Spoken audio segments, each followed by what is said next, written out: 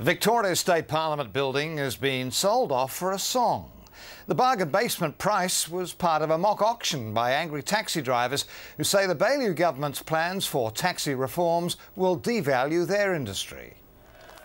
Hundreds of angry taxi drivers cheer as Parliament House goes up for sale. $100,000 there, $50,000, one dollar. The reverse auction held to protest the inquiry that's recommended sweeping changes to the taxi industry.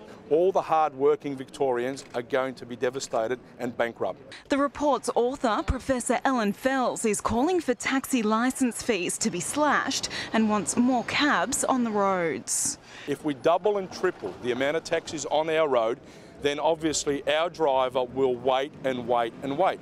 The state government will deliver its verdict on the final report by the end of the year.